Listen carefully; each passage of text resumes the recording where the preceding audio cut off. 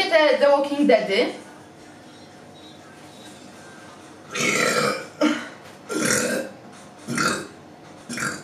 O kurwa. No kupię!